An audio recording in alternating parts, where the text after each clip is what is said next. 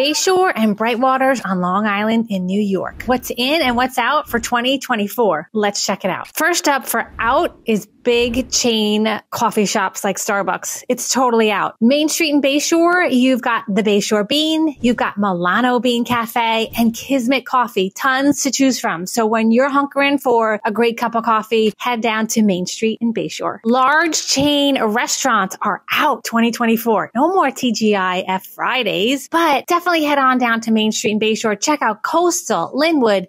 And if you're in Brightwaters Village, you don't want to miss Henley's Village Tavern. They make the best Paloma ever. What's also out? Well, big box drugstores like CVS, Rite Aid, like they're out of here. But did you know about Shore Drugs on Main Street in Bay Shore? They have everything you can imagine. The best lineup of supplements and vitamins as well. So definitely stop in and check them out. Everything from stationery to prescriptions to your natural health supplements. You definitely want to step in there and say hi to Shore Drugs. Bottom line, whatever's out is out and whatever's in you can find on Main Street in Bay Shore or Brightwaters Village. I'm Megan Gardner. If you or someone you know is thinking about buying or selling a home on Long Island, tell them to make their move with Megan.